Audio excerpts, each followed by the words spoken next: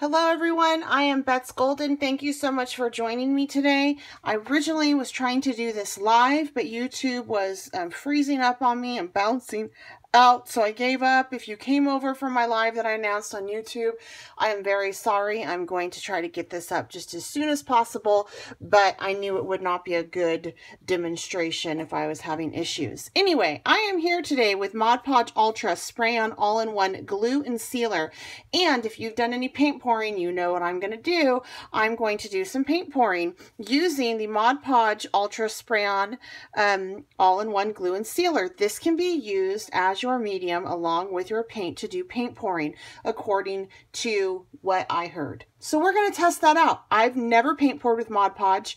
Um, I have paint poured about once or twice.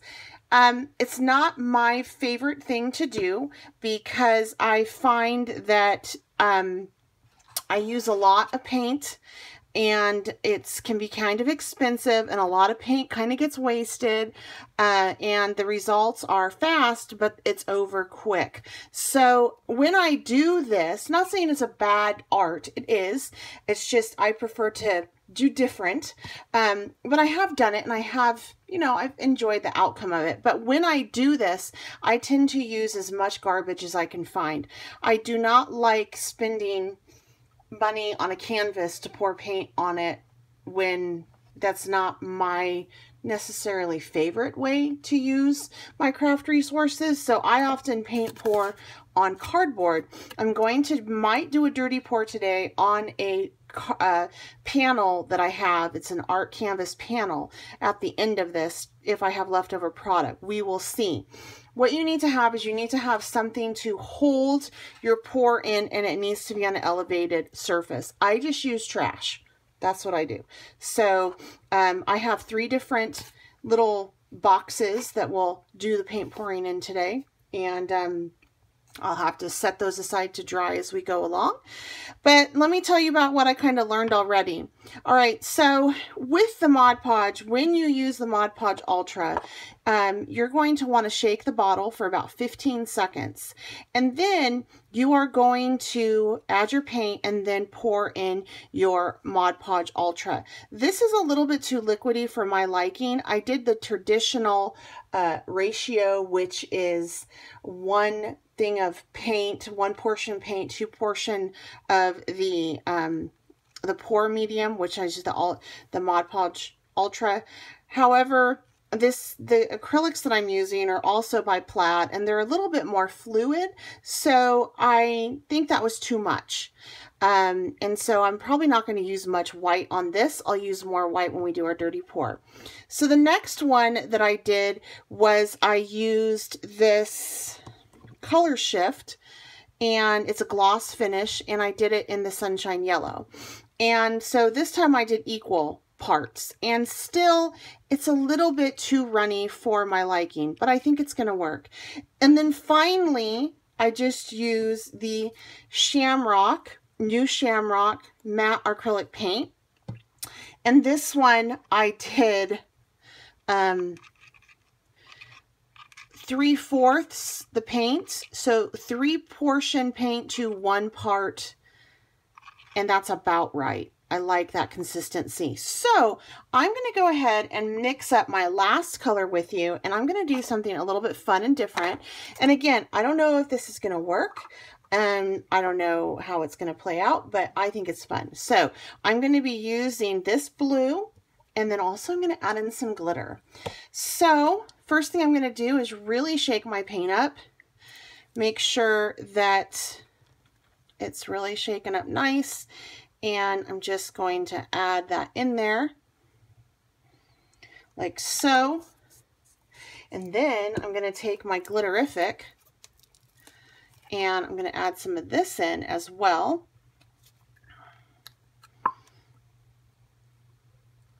Give it a little bit of sparkle. So this is really thick.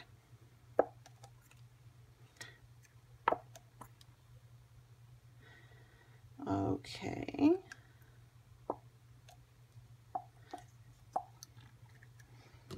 And then I'm going to get my little trusty that. And I'm going to take my Mod Podge Ultra, give it a nice shake. You want to shake it for 15 seconds usually, but I've been using this this morning, so I don't need to shake it for that long. Um, now, if you want to have cells, Dina Wakley has a cell uh, creator little bottle, and it smells really good. You can add those. I'm I'm not necessarily a huge fan of the cells. Um, I, I tend to not use them. I tried to at first and it's kind of cool, but sometimes you don't get them. So, you know, you got to play with it. Now, once again, I just kind of eyeballed it when I added in my um, Mod Podge Ultra. I'm not priming my surface. That's the one thing that I do like about paint pouring, at least when Dina Wakley did it in her medium, because I do have her whole pour system, is you don't have to prime your surface, which is really cool. So um, I'm going to see if I don't have to prime on this one either. I'm going to add in a little bit more glitter. So I think if this works out, I really appreciate that I do not have to use as much um, of the Pour Medium, which is my Ultra Glue, um, my Ultra, because it is, it, it just seems to not need as much as some of the others, like the Dina Wakley or the heavier acrylic, and that could have to do with the type of paint that I'm using as well. I don't know. But, haha, I have another one. I should really use this end. It's narrower. There we go. If you don't have these little handy dandy tools, you can always use popsicle sticks and Dixie cups. Seriously, this is an expensive, I think this is a, a pricey um, art. And if you enjoy it, it is totally worth it. But if you only do it occasionally like me, then, you know, go ahead and uh, just um, use, you know, what you have and trash and make it work. Now, I don't know if that glitter is going to work or not because I'm not seeing it. So this will be interesting. It may just add some cool texture. All right, so the first one I'm going to do is I do want to create a card. I do have I do have something in mind for this. I actually have a um, a hop coming up, and I want to create a card, and I want to do kind of um, a, uh, a landscape in a in a loose way, I think we'll call it. So I'm going to start off with my yellow up here in the corner, and I'm just going to pour a little bit of yellow and kind of let that move around on its own. See where it goes, what it does. And then I want to pour some blue.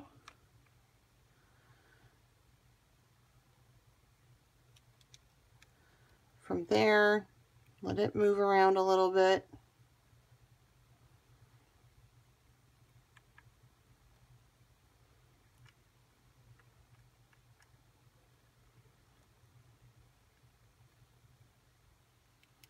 All right, it's a moving.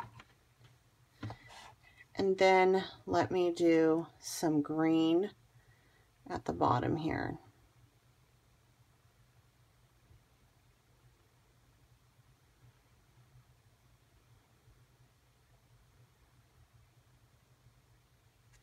All right. And, you know, you can pick it up, move it around. I'm just going to actually just work with it right here on um, my little box as to not get my hands dirty. And it looks like I have a dollop of glitter right there. So um, if you want to do glitter, I would do it after.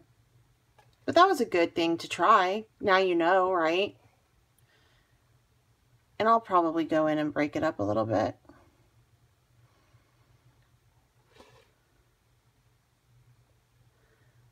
Okay, so from here, I'm to let this just set up and dry. I think I like how that's plain. I'm to kind of break that up a little bit and call it good. All right, so I don't know if I have enough. I'm to do one more little pour like this. And then I'm to go ahead and move on to the canvas because I haven't used that white yet. But it does look like it gives a pretty good coverage. So for this one, I'm going to just use some white on it. And again, it is not you know, it's not sitting flat. There is a little bit of an elevated surface to it. So I'm just using some white on this just to get it started. And then I'm going to go ahead and just pour in some of this blue. I don't really have much of a rhyme or reason to how I'm pouring this right now. Whereas the other one I kind of had an idea you know? And then let's do some yellow. And I already got it on my fingers, so I will be washing my hands after this. Okay, so this one's kind of cool. I like this one. I wanted to do two just in case one didn't turn out. and I had another option.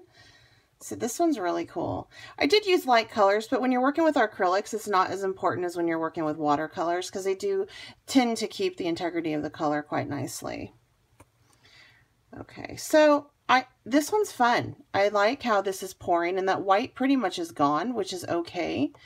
Um, but I can definitely see that um, the color shift in it. Like it kind of sparkles. So that's really cool. I do have a bubble up here. So let me go ahead and just try to work that out. All right, so I'm going to set this one aside and then we're going to move on to our dirty pour.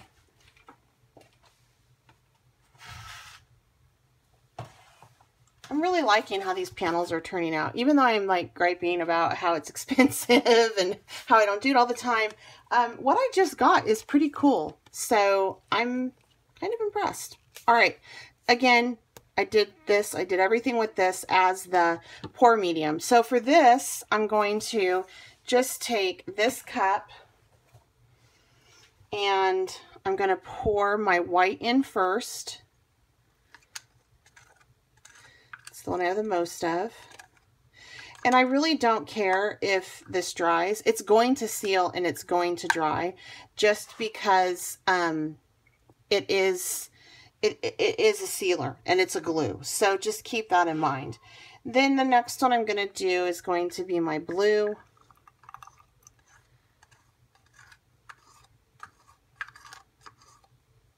Okay. And then I'm going to do my yellow.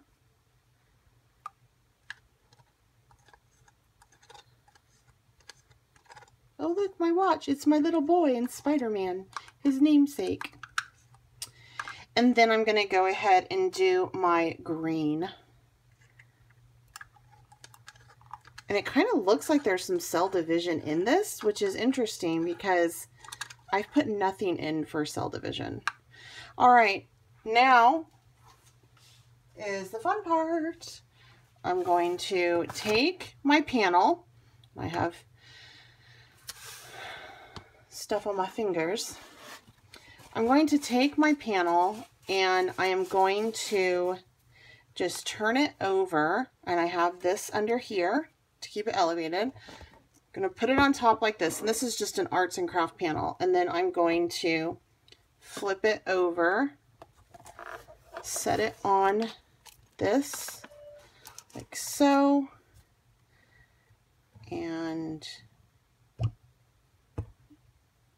voila.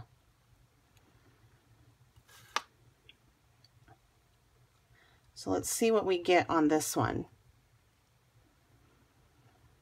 That's a pretty cool coverage.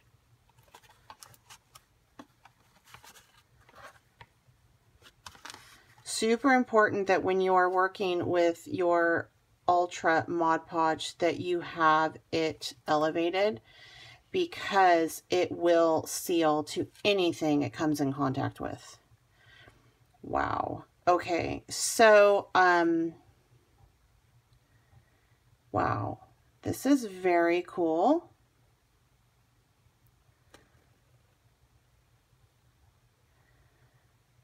Again, I'm just moving my box around. I'm just trying to get complete coverage and I'm actually dripping out of my box. So I'm going to have to go set this over something as it dries because this one corner is being a stickler and I'm going to wipe it up just in a minute. All right. That is pretty awesome. Woo! So in conclusion, you guys, I think that I'm going to have to say that, um, I I like this. Like I'm probably gonna oh I'm leaking over there too. I'm probably going to do this if I do it again, it's definitely gonna be with this um, ultra as my as my little you know thing that holds it all together with the paint because this is super duper cool. That's awesome. All right. Um so I will have products listed down below. I'm not sure if Mod Podge Ultra is available anywhere except through their website and Walmart, which is awesome, right? Walmart. But I, if I find it, I will link it. Please share this video if you know of anyone who's into paint pouring and would like to try it this way. Um, subscribe if you haven't done so. Give it a thumbs up if you enjoyed it. And if you have any questions or comments down below, please um, leave them. And yes, I've made a mess, so I have to go clean up. Until next time, happy crafting.